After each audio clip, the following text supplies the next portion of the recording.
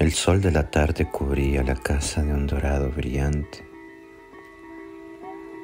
y hacía que las ventanas se encendieran con un intenso anaranjado. La luz se metía en nuestro cuarto a través de las cortinas entreabiertas, iluminando la mitad de su cara. Vamos a la costa hoy que el aire es puro, me dijo. Y de un solo tomó mi mano sin esperar mi respuesta.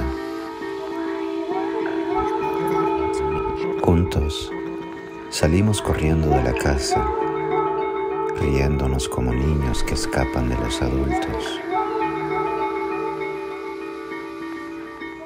Corrimos sobre los verdes montes que se extienden a todo lo largo de la costa.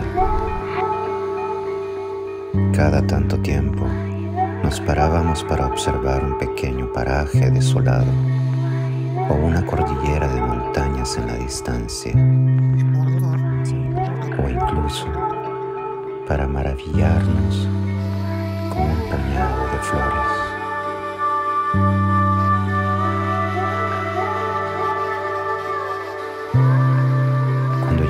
A la playa, caminamos hacia el agua agarrados de la mano.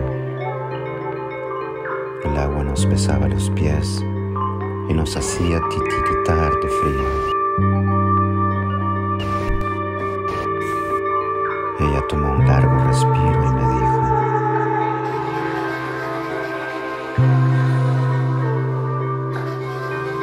ahora que el aire es puro, podemos tratar de tocar el viento con nuestras voces.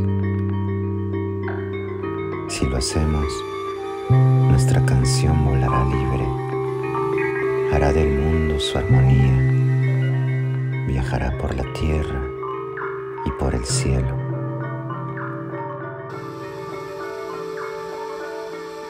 Ella empezó a cantar una suave melodía que se volvió una con la brisa del mar.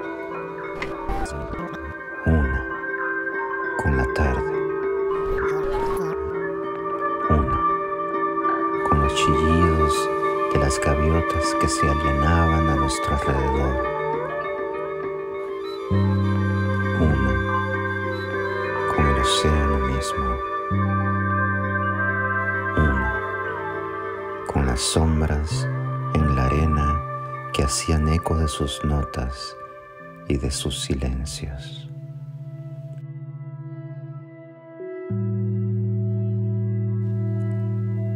¿Quieres probar?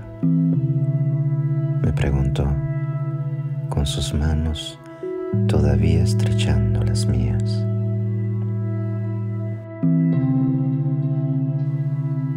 Una fuerte corriente eléctrica atravesó mi cuerpo. Empecé a cantar cuerpo se convirtió en sonido puro. Y se convirtió en la brisa y se convirtió en gaviota que volaba a nuestro lado. Sobre las olas y bajo las nubes iluminadas por la tarde. Todo anaranjado y rojo y rosado. Todo encendido por ese sol que lentamente moría. Estábamos juntos, verdaderamente juntos, y viajábamos sin límite en un vehículo construido por vibración desnuda y nada más. El aire que ese día era puro, nos permitió ser música y nuestra respuesta fue esa melodía que jamás volveríamos a cantar.